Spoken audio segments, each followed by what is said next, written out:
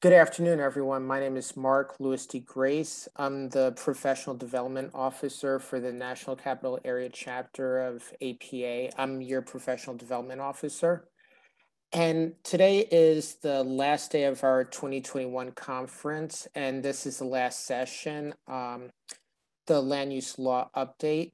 So I wanted to thank you all for um, participating as attendees at our conference this week. I hope you guys all had a great time, got your CM credits, and uh, learned a lot. I just wanted to touch on a few things before I hand it over to Jesse Richardson of West Virginia University.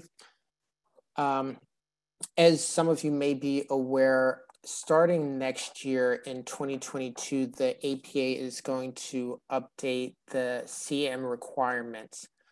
Um, I have a webinar with APA to get more guidance on that, and hopefully later this month, we'll send out an email with those updates just so you guys know before next year what the changes are and what that will require of you. So keep an eye out for that. Also, probably this afternoon or uh, later this week, we'll send out an email with all of the recordings for all of the sessions, this one included, and the um, links for the CM register for the CM credits, just so you can log your uh, CM credits. And if you guys have any questions or concerns, um, thumbs ups, or anything you'd like to discuss, feel free to email me my email is aicp at ncac-apa.org. And with that, I'll hand it over to Jesse uh, Richardson, JD, West Virginia University. Um, Jesse, the floor is yours. Thank you for your time. And if anyone has any questions for Jesse, please put them in the chat and I will um, go over them with Jesse after he's done with his presentation. So with that, Jesse, the floor is yours. I will turn off my camera and my microphone and the show is yours. Thank you. Thanks, Mark, and good afternoon, everybody. Thanks for uh, being here today. The last session of the last day. Uh, so I feel um, I'm just grateful that you all have stuck it out and that you're still here. Uh, today, we're going to talk about land use law update, and that's really exciting to me. Uh, maybe not to a lot of you all, but I think we have a lot of really fascinating cases this year. Uh, some crazy cases, really.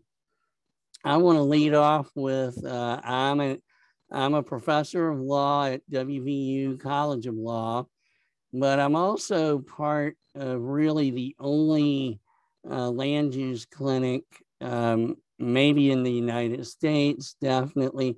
There might be one other, uh, but uh, we have five attorneys and two AICP planners on the staff.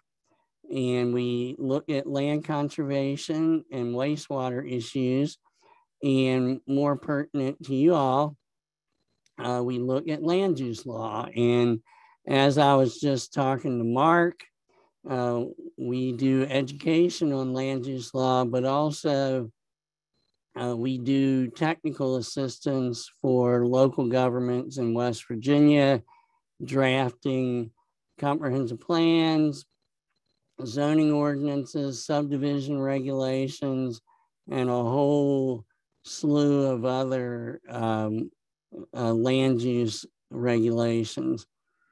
And we oftentimes partner with private consultants uh, on this process. And we also work with a lot of students, uh, which may be um, interesting uh, to some of you as well. Uh, but let's go on with the uh, cases.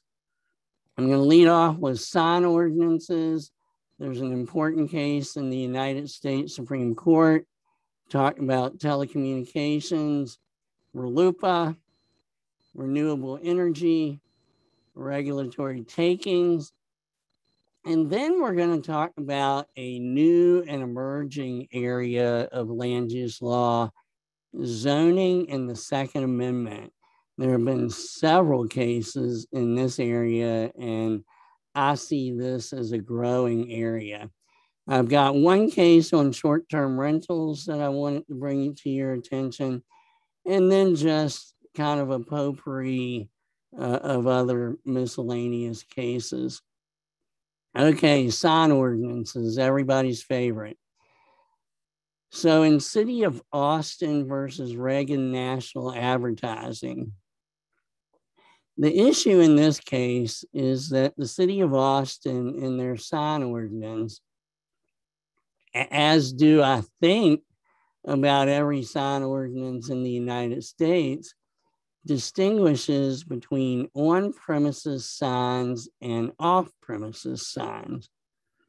And one thing is that under uh, their ordinance, on premises signs can be digitized while off premises signs cannot. Uh, Reagan wants to digitize an off premise sign. And so they challenged the ordinance uh, as an unconstitutional content based regulation under Reed, under the Reed case. And basically, the argument is hey, I have to read the sign to determine whether it's off premises or on premises. Therefore, it's content based. And they argued this case before the United States Supreme Court uh, just last week. Uh, we expect a decision uh, in early 2022. In the oral arguments, a lot of the justices were very skeptical um, about the ordinance and, and pretty much said, can't you do an ordinance that doesn't require you to distinguish based on content? On the other hand, some of the justices were like, well, gosh, if we decide this against the city of Austin, then every local government in the United States is going to have to change their sign ordinance again.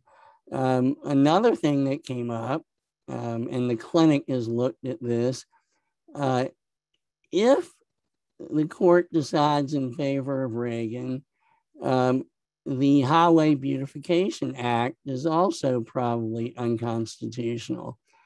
Um, I don't know what's going to happen in this case, but here at the clinic, we have started to go to referring to signs as principal uses or accessory uses. And in our opinion, that gets around this content based restriction.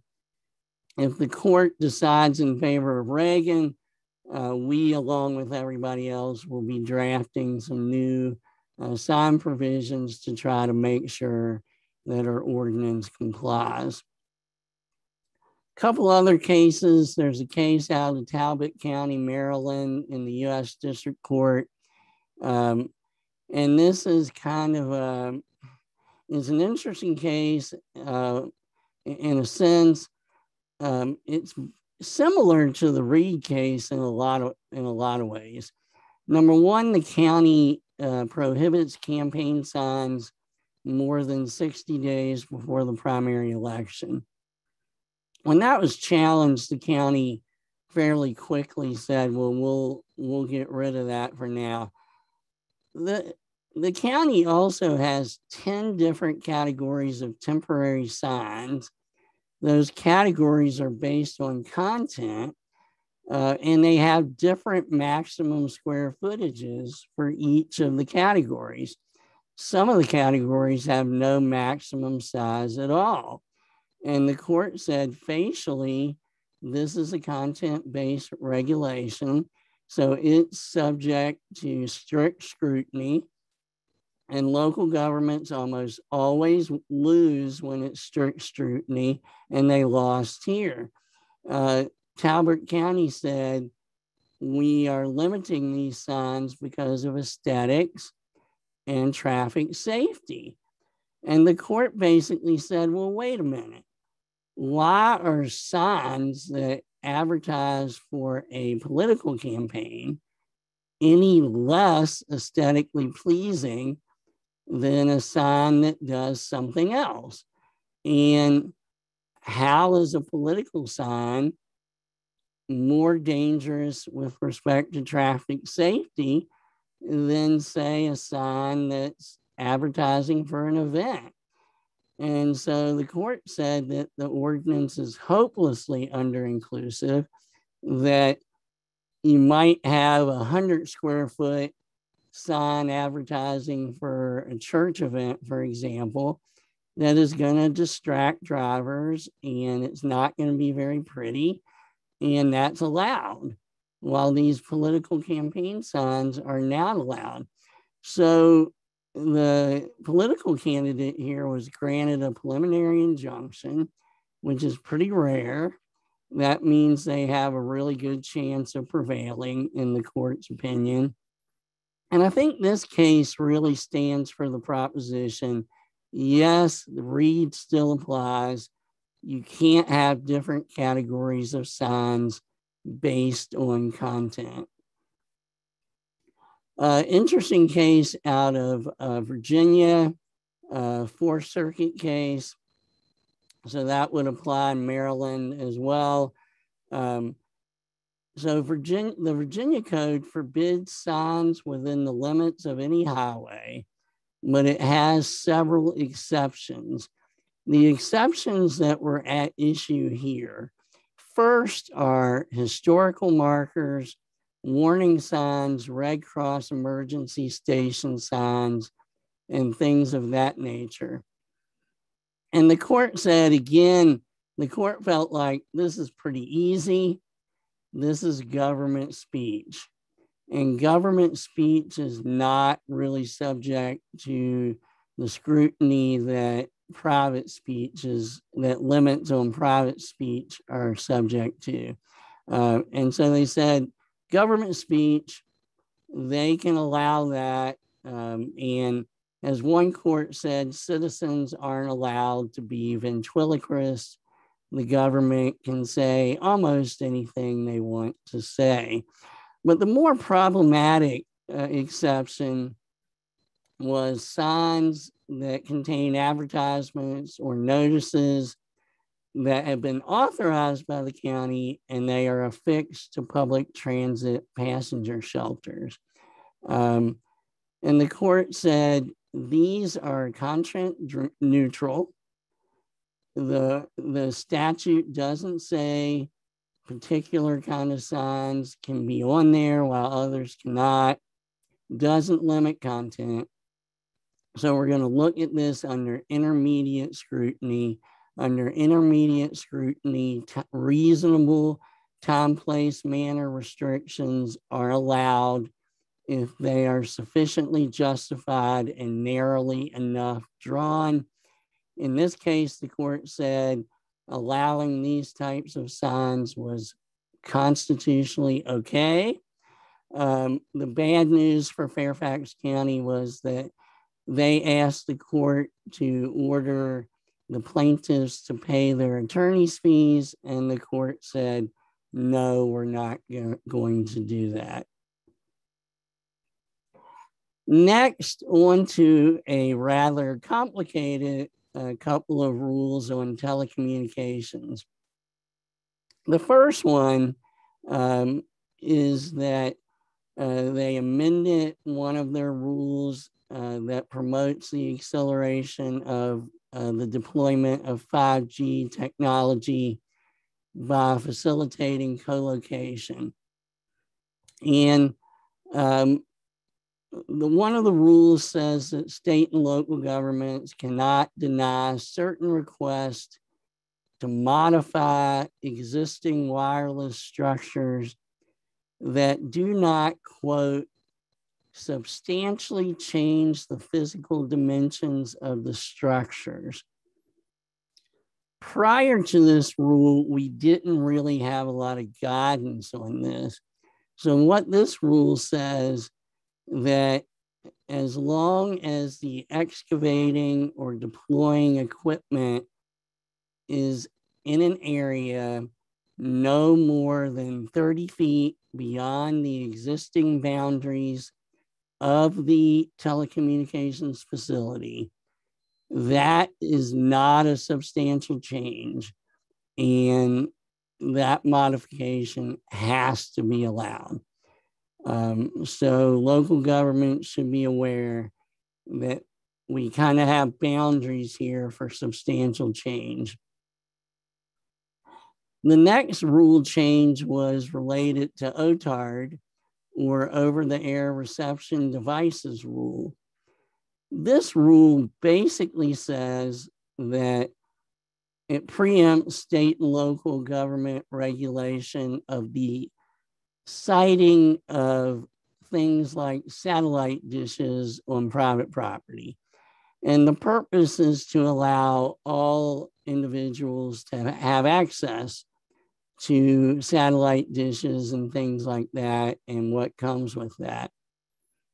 And um, in this ruling, the court invalidated a regulation by the city of Chicago that said that you cannot place your satellite antenna dish in any area that is visible from any street adjacent to the property. The FCC felt like that ordinance overstepped the bounds of what the city could do. In addition, the city expanded the OTARD rule to include certain hub and relay antennas. Um, and these are antennas that serve multiple locations. So basically, this means that if you have a trailer court or a condo or something like that, where you have a um, hub and relay antenna that provides uh, the satellite uh, signal to a number of different inhabitants. That's also subject to OTARD, and local and state governments have very limited authority to limit the placement of those devices. Um, so those are the FCC rules on telecommunications. Okay, now to some things that at least I think are pretty fun looking at RLUIPA. And we have two cases on RLUIPA that involve expansion of water and sewer hookup. And the cases are decided differently. And I think the rulings are very instructive in that they look at the comprehensive plan and the zoning ordinance and place a lot of stock in that.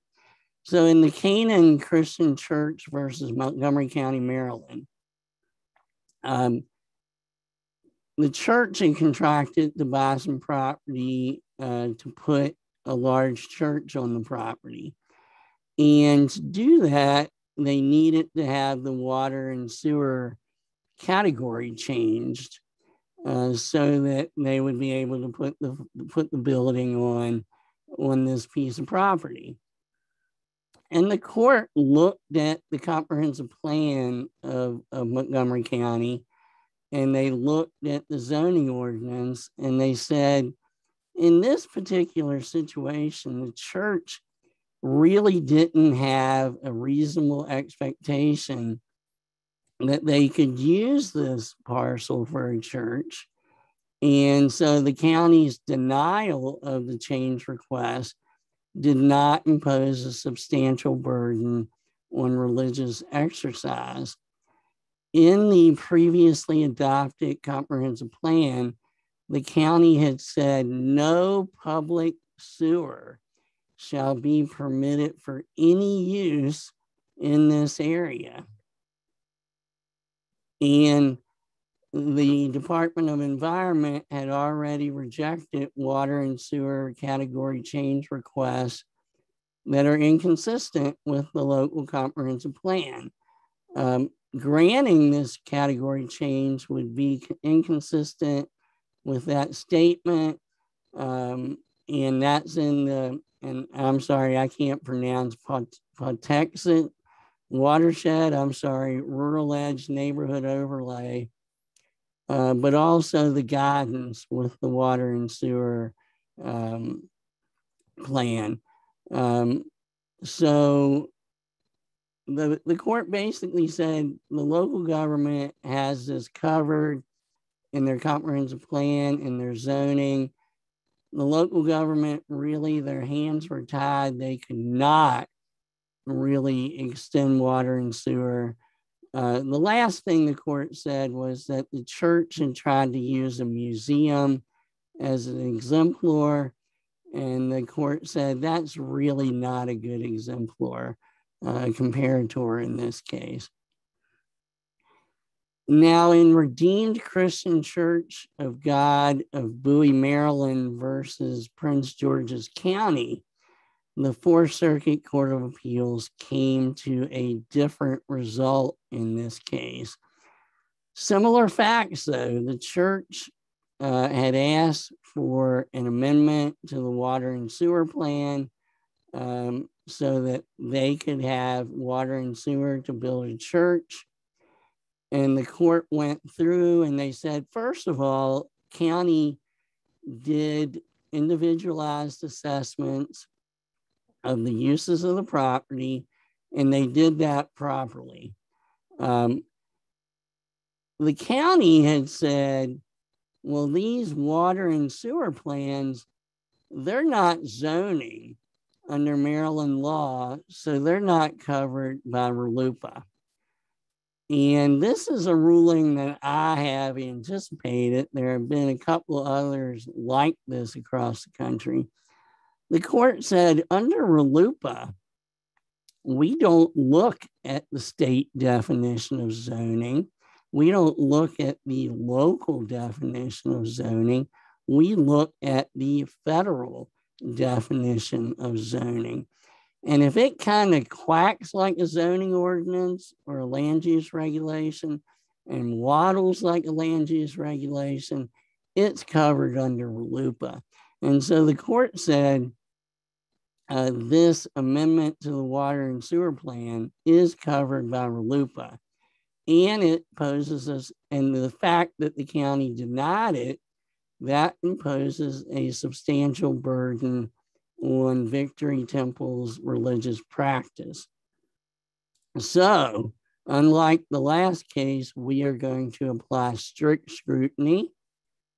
Local governments usually lose when strict scrutiny is applied, and they lost here. The county had said that traffic safety was their compelling interest in denying the water and sewer um, extension. This ruling is fascinating for me because it seems like the Fourth Circuit is dabbling in land use planning, which federal courts don't do very often.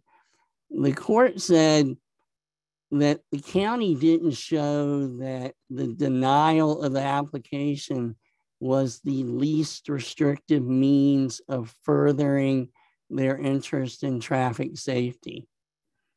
First of all, the county said, well, wait a minute. We have two choices. We can either accept, approve the application, deny the application. The court said, not really. You have more choices than that. The court said you should have approved the application uh, for the extension of water and sewer. Then you go to the next step, which is subdivision. And according to the court, the county could, at that step in the process, imposed least a least restrictive means of furthering the interest in traffic safety. And the court even suggested, they said, hey, you could say that you have to do roadway improvements uh, or additional road signs. So, very interesting case in that the court really did a deep dive into local government land use regulation and said, You're at the wrong step here. Approve the extension of water and sewer, then deal with traffic safety in your subdivision approval. Okay, on to renewable energy. I hope everybody has their seatbelt fastened. Uh, we're moving through this at a rapid rate. Um, renewable energy, Frederick County, Maryland versus Lagore Bridge Solar Center. Um, in this case, the Maryland Public Service Commission approved a certificate of public convenience and necessity for a solar energy generating system uh, in Frederick County, Maryland. Frederick County uh, challenged this.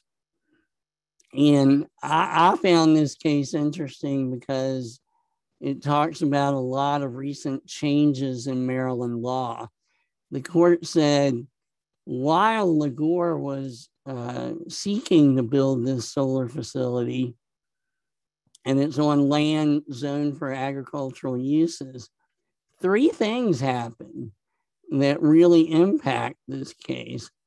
The first thing that happened was that Frederick County responded to a large number of private proposals to put solar facilities on ag land. That is a big concern in a lot of communities that a lot of solar facilities are uh, being placed on ag land and so the farmland preservation and promotion of renewable energy are kind of clashing here. And so Frederick County passed a local regulation that addressed that. The second thing that happened was that the General Assembly responded to some concerns of local governments um, and passed a law that said that the PSC must give due consideration to the consistency of the application with the comprehensive plan and the county. Um, and the third thing that happened was that we had some court decisions. Um, and the court decisions said that the uh, PSC regulatory authority preempted the local zoning. Um, so the question that the court considered was Did the PSC give due consideration um, to the county comprehensive plan and the zoning ordinance? This is one of two cases that we're going to talk about today that involve vested rights. And in this case, the PSC kind of derailed the whole process. And they said, well, wait a minute, Lagore has a vested right in the special exception that was granted by the county prior to changing the zoning ordinance. So we don't need to look at everything else because he has a vested right. So they're entitled to build it. The court said, eh, you got the law of vested rights wrong. Lagore must have undertaken a substantial beginning in construction before the change in zoning occurs to vest the right. Lagore didn't do that. And in the court's words, the whole PSC proceeding was infected with the error of treating this special exception as a vested right. And so the court said, we're going to send it back to the PSC. You have to conduct a due consideration analysis of the county's comprehensive plan and their zoning ordinance.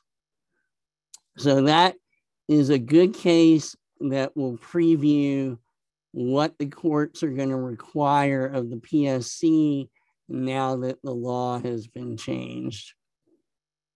The one case that will never go away, uh, there was another decision on the Dan's Mountain case in 2021. This is in Allegany County, Maryland, um, in the Maryland Court of Special Appeals. And you might recall that in this case, um, Allegany County had reviewed some variances and special exceptions for Dan's Mountain. It had been appealed through the court system. Uh, the court system sent it back to the local government, to the Board of Zoning Appeals, with instructions. And um, the board had initially denied the variance and special exception. Um, this time, they wrote a very detailed and thorough opinion that granted the separation and setback variances and the special exception. And a citizen a group appealed it to the courts again. I've never seen a court say this before. The court here said, we look back at our opinion. We told the board to conduct an appropriate analysis on each property, each factor, and each application. And they said, you know what? We really weren't clear enough. And maybe we told them to do too much because they didn't have to look at all those issues with respect to every parcel. They only needed to do it with respect to the parcels for which a variance was requested. So the court said, our bad. We, we made a mistake. We told them to do too much. No harm, no foul, though. Uh, the county went in, they did exactly what we told them to do. But their analysis on these parcels where the variance wasn't required that's legally irrelevant. It's surplusage. We're not going to worry about that. And also the fact that the county uh, organized their decision around the names of the adjacent parcels instead of the properties upon which the turbines would be placed is also legally irrelevant. Um, and they basically said, Good job, Board of, of Zoning Appeals. We're sorry that we told you to do too much, but you did what you needed to do. You did it well, and we affirm your decision. Okay, let me take a deep breath here. I'm going to go to regulatory takings a very significant regulatory takings case was decided by the United States Supreme Court earlier this year. It was in California. And in this case, the California uh, legislature had passed a law that gave unions in California the right to um, come on the property of businesses in the state at certain times um, in order to basically solicit union membership. So the union had come on the property of a strawberry farm, Cedar Point Nursery. And Cedar Point Nursery didn't want them on the property. They said, hey, we have the right to be here. Uh, they talked to the employees. Actually, there were some protests uh, they organized some protests on the business premises. Um, the uh, Cedar Point Nurseries filed a lawsuit and said, under the regulatory takings test that we're going to talk about more in a couple minutes, if the law forces us to tolerate a physical invasion it's a regulatory taking. It's what we call a categorical taking, automatically a taking. Um, basically, the defendant said, well, wait a minute, it has to be permanent physical invasion. And allowing this union to come on the property for just intermittent time periods, that's not enough. Well, the United States Supreme Court, in a six to three decision, said essentially what the state legislature has done is granted an easement across the business's property to these union groups, allowing them to ac- access the property. And there were arguments that said, well, this doesn't exactly fit the state definition of, the, of an easement. And the court said, doesn't matter if it fits it exactly, it's an easement. Um, and it's a it's a taking. This could be a very uh, significant case. I think at first blush, a lot of people say, "Well, big deal," um, but what I'm hearing local governments worry about, and I think it's I think it's valid for them to worry about, is anytime that they have a local government official that's allowed to come onto somebody's property. Now, the court mentioned that, but they weren't really clear about it. So I think local governments have to be careful. Uh, there have already been some lawsuits filed um, on COVID restrictions, saying that prohibiting people from coming to my business uh, because of COVID is um, what we call a negative uh, servitude, which is also a physical invasion. I think right to farm cases have been analyzed as an easement across the neighbor's property. So we could have some right to farm cases. I think this is a case where the United States may have uh, taken the lid off of the bottle and the genie came out and we might see them trying to put the lid back on the bottle. Um, but be careful about this uh, when you're thinking about your regulations. Uh, Clayland Farms, this is a repeat from last year as well. It went up to the Fourth Circuit Court of Appeals, who affirmed it. Um, Clayland Farms had 106 acres in Talbot County. Um, they wanted to put in a development. They were approved for a six lot development. They wanted a lot more.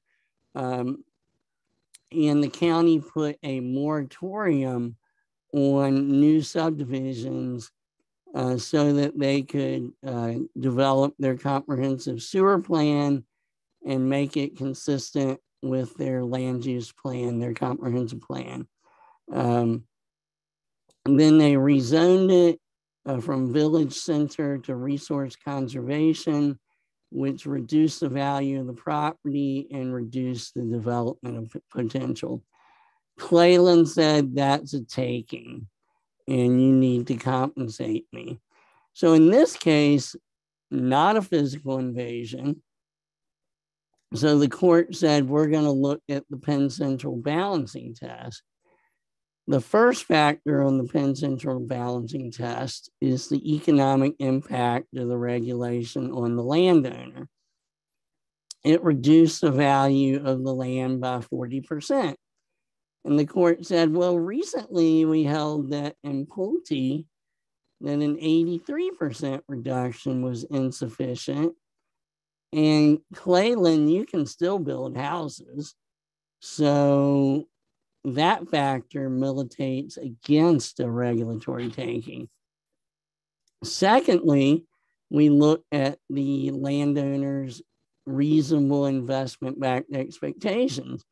And the court said your expectations weren't really reasonable. You can't assume that the zoning is not going to change. And you're not allowed or you're not entitled to do whatever you want with your property. Um, you you are just entitled to have some economic use of the property. The third factor, however, the court said weighed in favor of Clayland Farms. The court was really not excited about the moratorium. Um, they didn't like the fact that it was six years long. And they didn't like the fact that the county said it was needed to delay to they needed the delay to develop their comprehensive plan. So they said that factor weighed in favor of a taking. However, looking at the three factors in toto, the court said no regulatory takings here. Okay, now this is what I think is the next hot thing in land use law. There have been several cases, most in Pennsylvania, but one in Illinois and one in Virginia, where landowners or gun owners have challenged zoning provisions, or in Virginia, it was a COVID restriction. And the courts are now starting to develop a body of case law on what does the Second Amendment mean for your zoning ordinance. This is one that I think y'all need to watch out for. It, I think we're going to see a lot more of these cases. The first one was in the Third Circuit Court of Appeals and involved Robinson Township in uh, Pennsylvania. And in this case, a gun organization, a gun club, and the operator of the gun club filed a lawsuit against the township under 42 USC section 1983.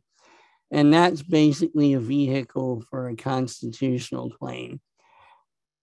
And they said township and the township zoning officer violated their Second Amendment rights by number one, stalling uh, their zoning application, and number two, basically trying to zone the gun club out of existence.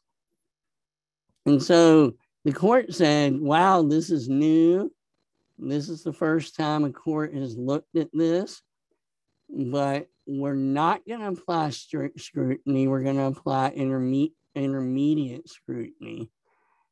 But, and this, every court has applied intermediate scrutiny, but the local government has lost every time.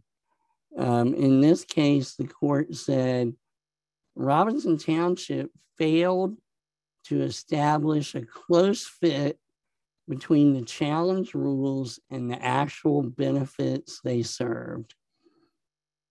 In other words, I think what the court's doing here is it's kind of like the sexually oriented business, which is First Amendment, kind of like your sign ordinance, which is First Amendment.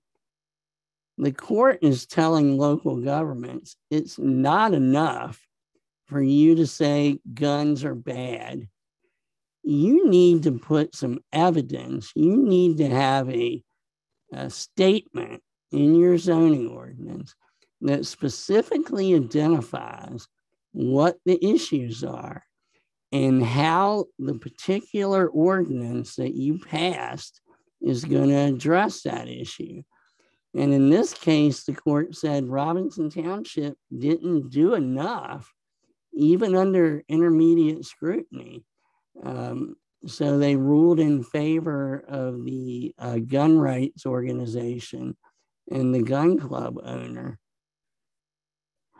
Um, in this, in the next case, it's also in Pennsylvania, but it's in the state court.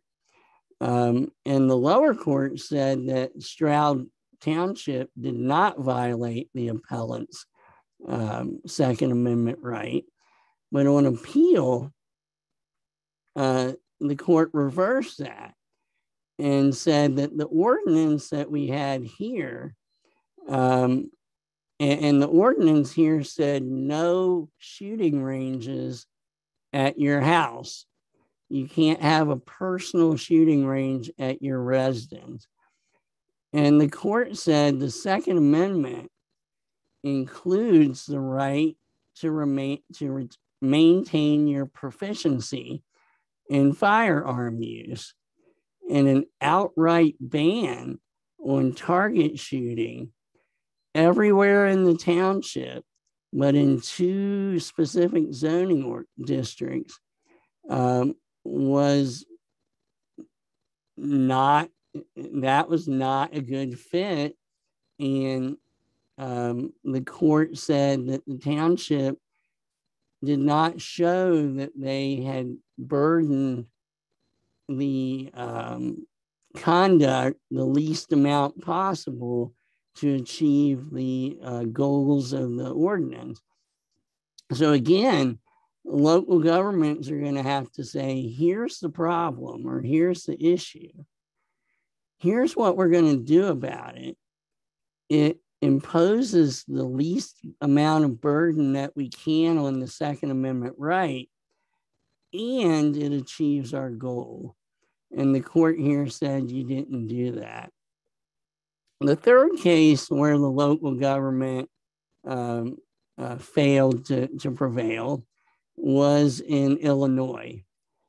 And in that case, the Illinois local government said that if you're in a forest preserve zoning district, even if you have a concealed weapon permit, you cannot carry that concealed weapon.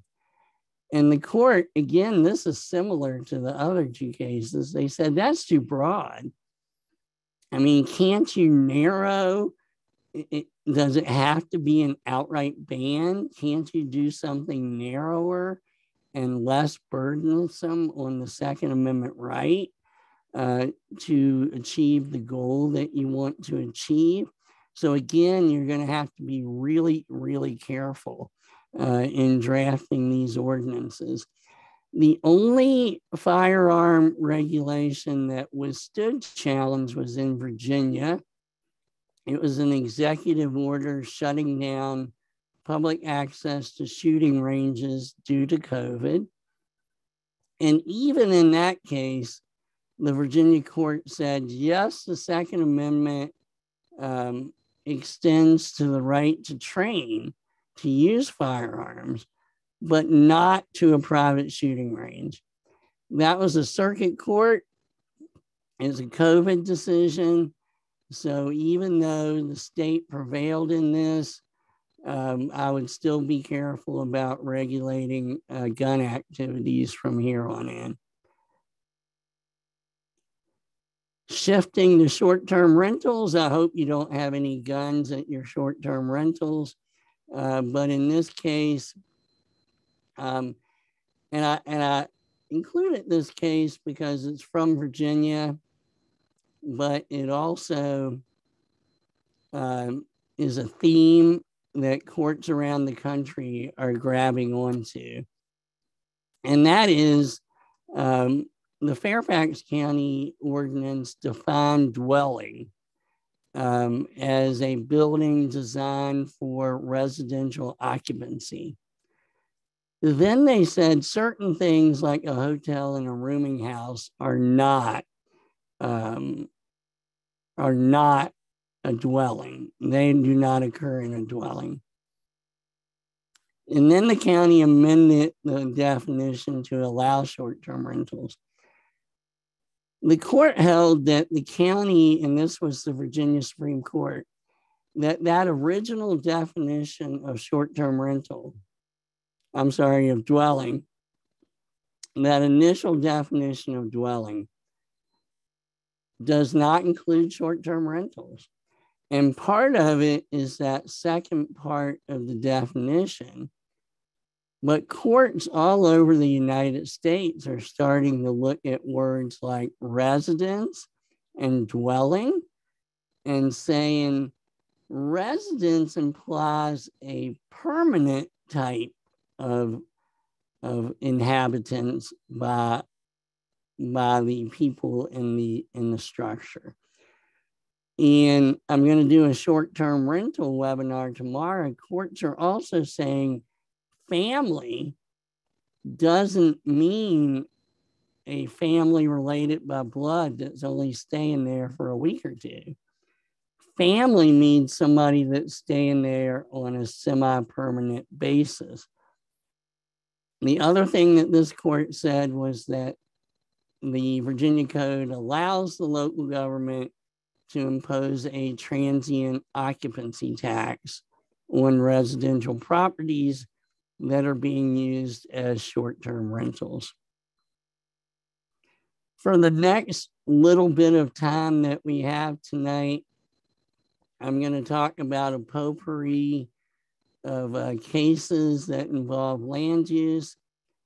And I think if I can give you the principles from these cases ahead of time, principle number one, and you're going to see that in this case, when you are drafting your zoning ordinance or your subdivision ordinance or any land use ordinance, be really careful about the wording that you use because the court is going to read that and they're going to say they must have meant what they said.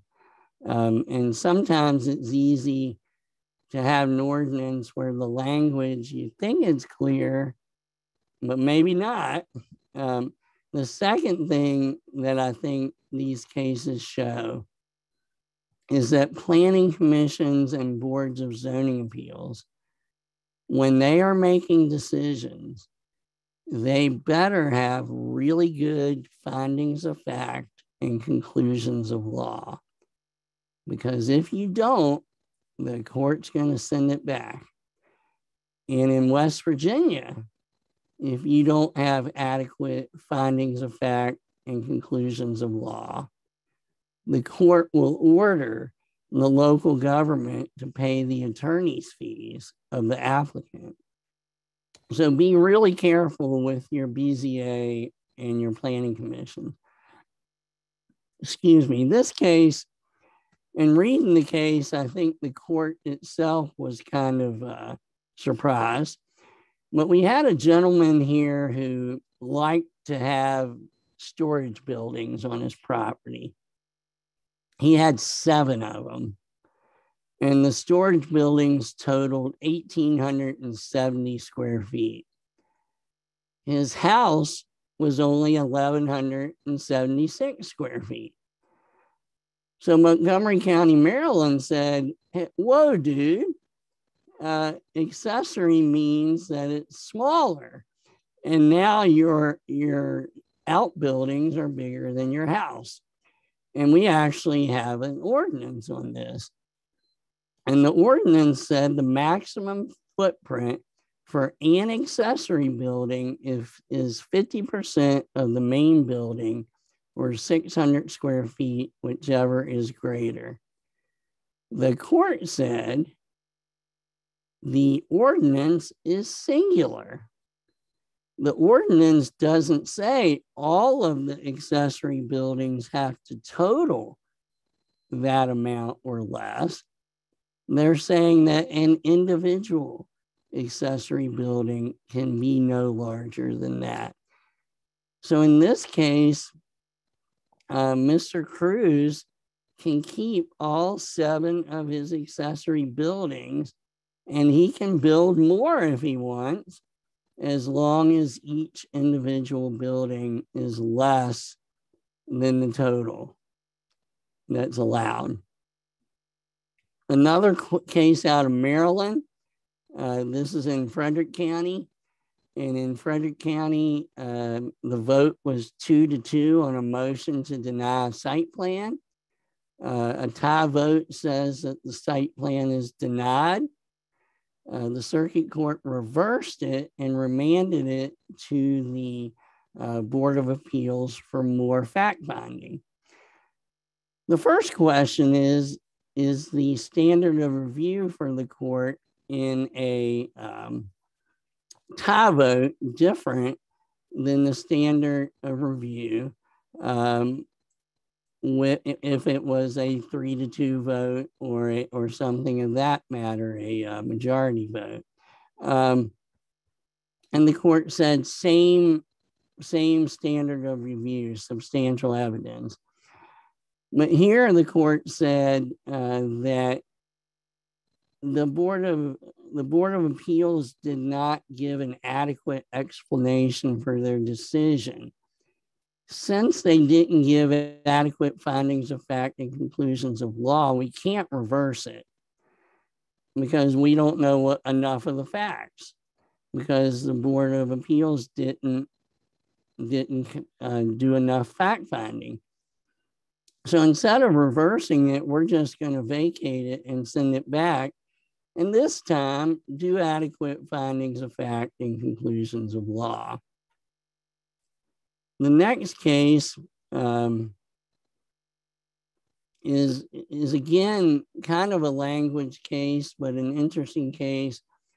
Uh, Greco applied uh, to put in a commercial dog kennel. Um, Anne Arundel County Board of Appeals granted the application. Um, Greco wants to put in a dog training facility. There was an appeal. Uh, the Board of Appeals uh, had nine hearings, nine, nine hearings on this issue. And they said, okay, um, we're going to let you do training uh, and we're going to let you do boarding as an accessory use, but you need to install sound attenuating materials uh, and you are limited to 20 dogs. Everybody appeals. Um, and the circuit court said, well, the circuit court kind of took it on themselves and said, the definition of dog kennel doesn't include uh, training, uh, but that issue was never brought up before the Board of Appeals. And that was the basis that the circuit court reversed it. So on appeal, um, the court said that the application was properly approved by the Board of, of Appeals and that the limit on 20 dogs is appropriate. They said the issue about training in the definition was not brought up uh, timely, so we're not going to look at that. And the court commented that the Board of Appeals had detailed findings of fact and conclusions of law. So they deferred to that uh, finding. We're running out of time, I know. I'm going to do a couple more here. Um, Hudson versus Mayor Baltimore. I think this is interesting. Might only apply to Baltimore, though. This is where Baltimore adopted a new zoning ordinance called Transform Baltimore. And um, in the new zoning ordinance, they said if you file your application before June 5th, 2017, it's vested under the old rule. Um, but in this case, the city council failed to make uh, findings of fact or conclusions of law. And the court looked, and this is where you got to be careful with your language because the court said in reading the old zoning ordinance and reading the new zoning ordinance, number one, it's not a vested right. And number two, what they need to do is accept the application under the old zoning ordinance, but the new zoning ordinance says that you have to compare what they can do of right under the new zoning ordinance compared uh, to what the application is for what they want to do. So really interesting dynamic between the old ordinance and the and the new ordinance. Um, there are a couple crazy cases that I do want to make sure that I touch on uh, before we stop here tonight. Um, the Johnson versus Mayor of Baltimore, two points here. Number one, the uh, complaining parties here wanted uh, the city council to make findings of fact on everything under the sun. And the court said you don't have to do everything. You can focus on the main points that apply here. The second thing is, and I think this makes sense, but it was still in court. The language in the ordinance said permitted uses are in this particular district are all uses listed as permitted and not solely as special exceptions or conditional uses in all zoning districts. The complaining party said what that means, let's read it literally, is the only thing you can do in this zoning district is a use that is allowed in every other zoning district. Gaithersburg said, no, no, no, that's not what we mean. We mean that you can do anything in this zoning district that is allowed of right in any one zoning district in the city. The court agreed with the city of, uh, of Gaithersburg in this case. The other significant issue is that the opponents wanted to cross examine some witnesses, but they didn't complain about that till they got to court. Court said too late. Okay, now here's a crazy case. And here's a case that I want all of y'all to, to pay attention to because in this case, the zoning administrator, the planning director, and the floodplain manager, along with the county, were sued under the Fourth Amendment and under an equal protection claim. And this is in federal court. And this is in Warren County, Virginia, near where I grew up in Frederick County, Virginia. Basically, what's alleged here by the landowner is that the county, and he, he did say it was a conspiracy, but the court said there's no evidence of a conspiracy.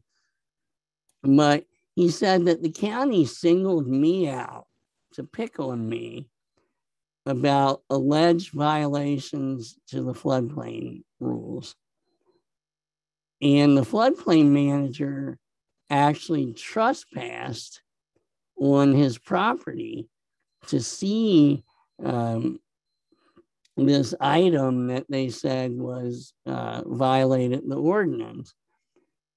And the court said, now the court kicked the county out, but the court said, as to the um, floodplain manager, the zoning administrator, and the uh, planning director, you all are kept in the case for this equal protection claim.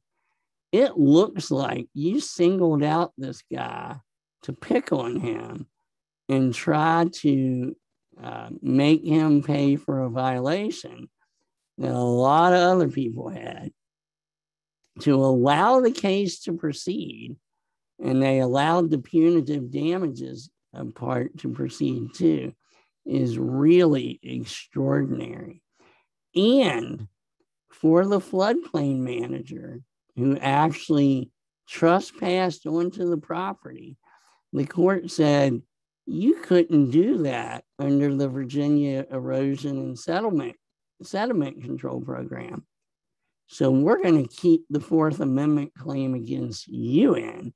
That is scary. And I think I'm going to do one more case.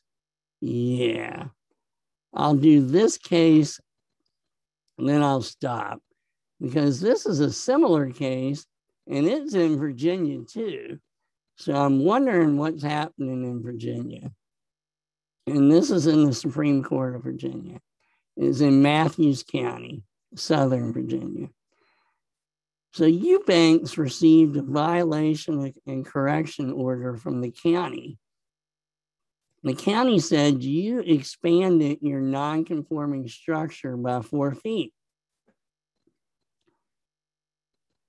Eubanks said, We haven't done anything to this house in 50 years. And he got a letter from a surveyor saying that, that the footprint of the house hasn't changed for 40 years, 50 years, I'm sorry. And the county says this happened recently. So the county filed criminal charges against Eubanks. And Eubanks prevailed on the criminal charges. And then he turned around and filed a malicious prosecution claim uh, against the county and an abuse of process claim against the county. And what Eubanks said was this house is on the river. What the county was trying to do was make me tear down the house so that they could obtain the property through eminent domain and have better public access to the river and not have to pay me much money. Again, this should scare people. The court said, You have stated a claim for malicious prosecution. Now, the court said, You don't show where the county abused the process but you make a claim for malicious prosecution, and this case can go on to the jury. So we've got a couple cases here in Virginia where we've got uh, local governments, planning directors, zoning administrators that are being raked through the coals in court. So it's something uh, that you all should watch out for. So I'm going to stop there and see if Mark or anybody else has any questions for me. Thank you very much, Jesse. Um, there was a lot to unpack there, and thank you um, again for all of your insight and everything. Uh, there are a couple questions that came in, and I wanted to uh, touch on one of the first, I, I guess, the the question wanted to touch on one of the first um, cases you brought up about the circuit courts dabbling in land use law or land use planning. And the question um, asks, hasn't the Supreme Court dabbled in land use planning with the Kelo decisions and the Tahoe decisions?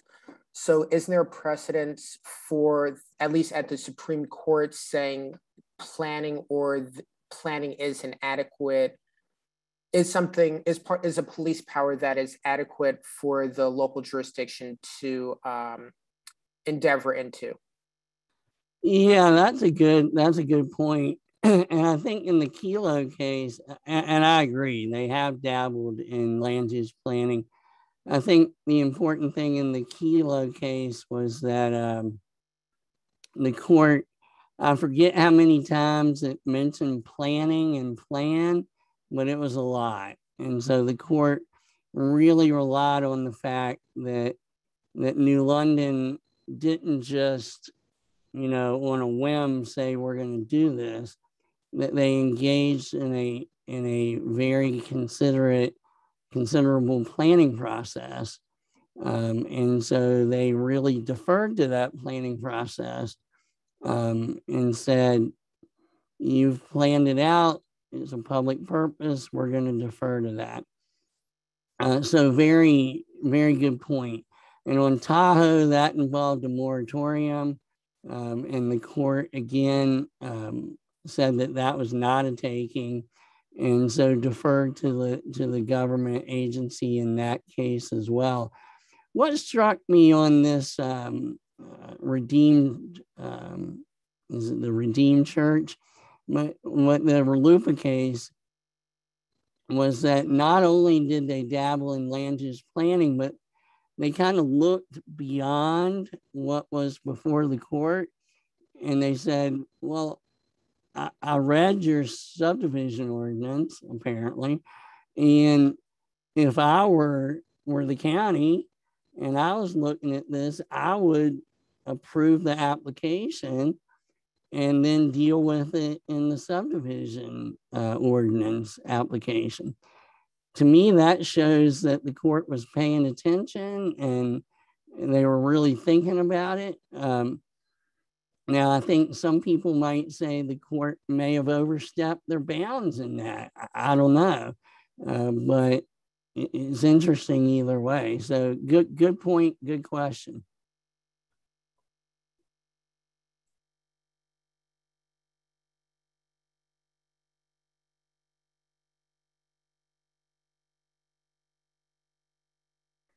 You're muted, Mark. Sorry. Um, the second question, I think, is referring to the Cedar Point Farm um, from your uh, one of your earlier cases in California, and it asked the question, and I don't know if this is exactly what you said, but um, you can tell us. The question is, if the court found that it was that the state was effectively creating an easement across private property, could that be interpreted as the the state was providing a temporary easement across all commercial properties uh, across the state? Yeah, and I think I think the court did interpret that as an easement across all commercial properties in the state. But one of the arguments in the case was this is a temporary easement, according to the state. Um, and the court rejected that. They said, no, this isn't a temporary easement. This is a permanent easement. And the court specifically addressed the issue. They said, we're not going to require that somebody invade your property 24 7, 365. An easement in and of itself is a physical invasion because it is permission by the state for people to come onto your property. So the court rejected the argument of California that it was just temporary and that it shouldn't be a taking. And instead, they say this is really like, let, let me give you an analogy. And this is the analogy that the court would use. The court said this is just like your neighbor give, getting an easement of ingress and egress over your property. And they can drive over your property to get into their parcel or out of their parcel. The court said the fact that they're not doing that 24 7, that they're not always driving back and forth on your property, that's irrelevant. The fact is that the easement is there permanently allowing them to do it. So this is a big case. It's a really important case. Oh, okay. That's that's very uh, good to know. Um, the this question just came in. Um, for regulating those green infrastructures, such as a, as windmill, solar array, what are the general legal advices you can give to planners?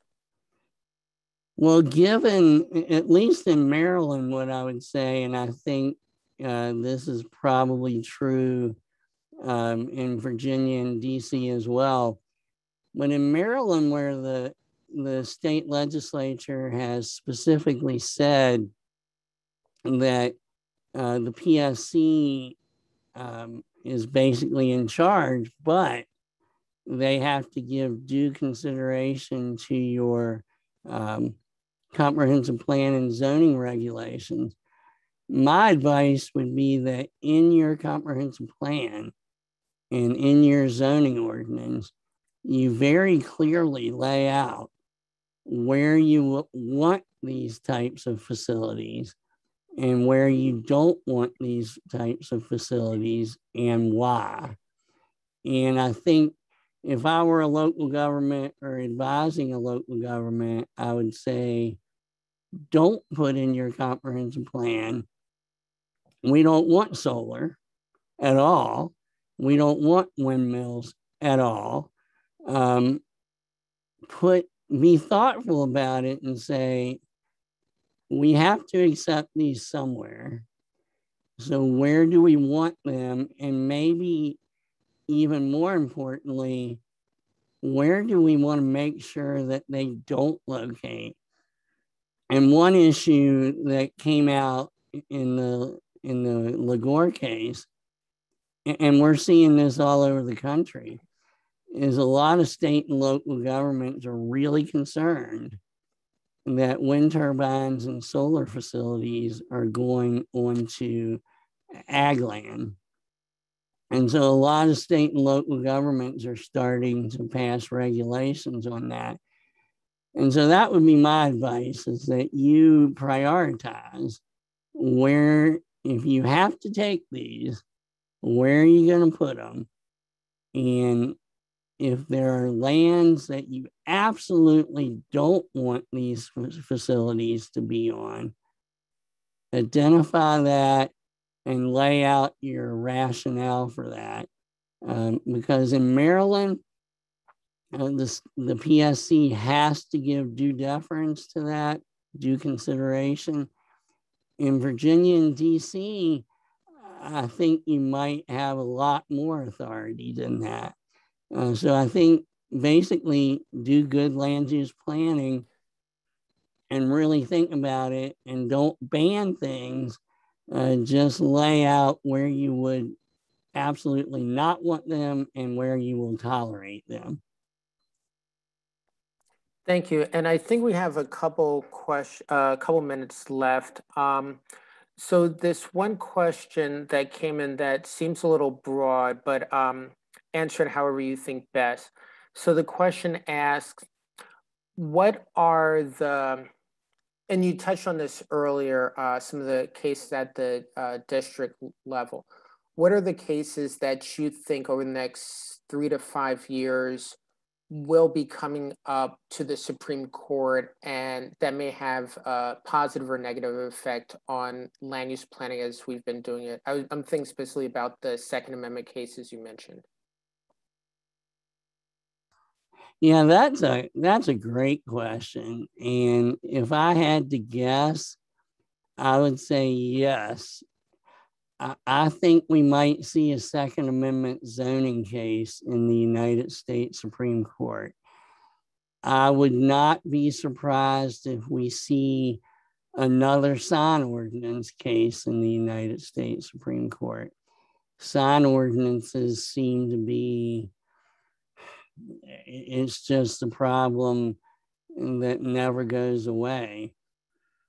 The other issue that may very well come before the United States Supreme Court is a regulatory takings case that is more directly related to land use planning uh, than um, the Cedar nursery case. I mean, I think that has some connections to land use planning, uh, but I wouldn't be surprised if we see cases that are right right in the land use planning wheelhouse. The other the other hot issue that I see are short-term rentals. And I know the Ninth Circuit Court of Appeals decided a case on that about a year or two ago. That was not appealed to the United States Supreme Court, but given the fact that it's such a hot issue, and given the fact that I think Airbnb and some of these other platforms are kind of pushing back on some of the local regulation, I wouldn't be surprised if that comes up as well.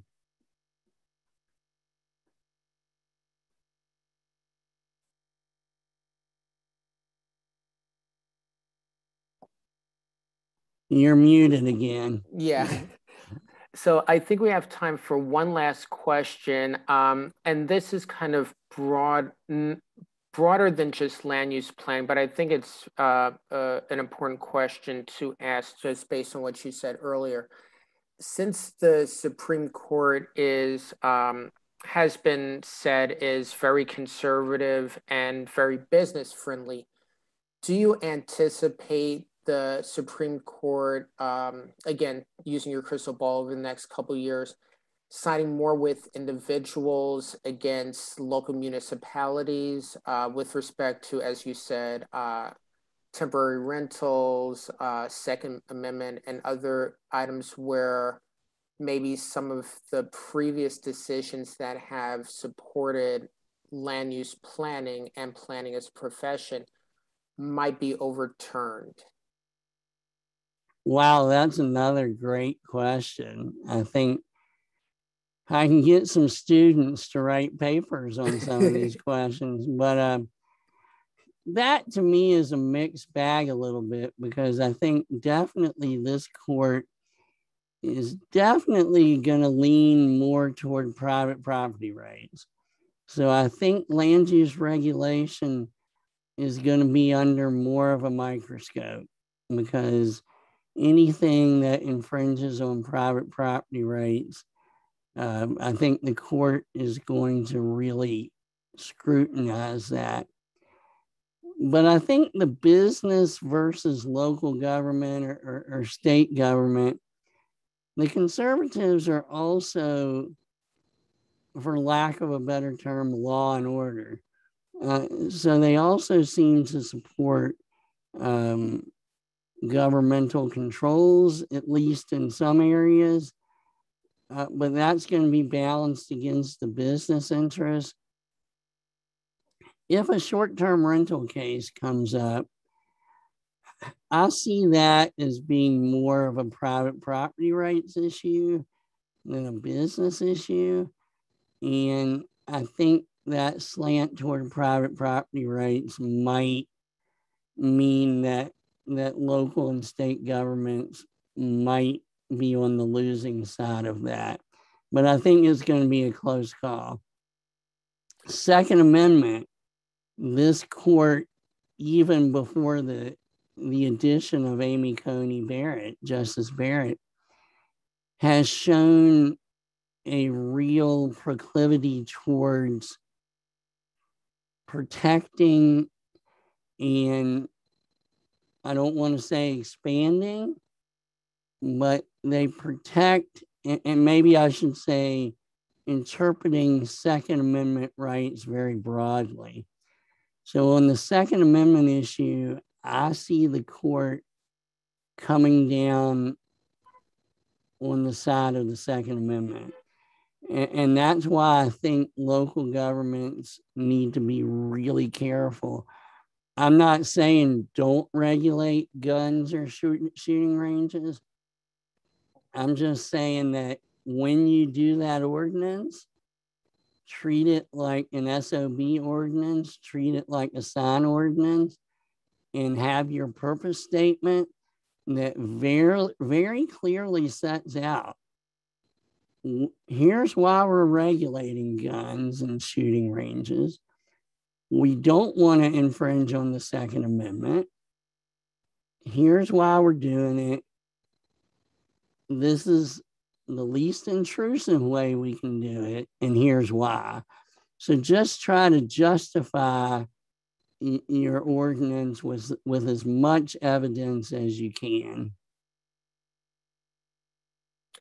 Uh, with that, Jesse, um, again, thank you very much for your time. Um, I appreciate it. And I know the um, 45 or so uh, attendees that we have have uh, definitely appreciated that. So with that, um, I wanted to personally thank everyone for attending the conference this year. Uh, I hope it was informative. As I mentioned, we'll have some more information coming in the next couple weeks about um, some events for next year. And if anybody is short of their CM credits for the year, please let me know. We'll be sending out more information on how to obtain the remaining uh, CM credits you might need. Uh, by attending this, obviously you get your law done. And with that, um, I'm going to end this session. Uh, Jesse, again, thank you. Everyone have a great rest of your week. Please stay safe and sane, and we'll see you all soon. Bye now. Thanks, everybody. Have a wonderful holiday. Thank you, Jess.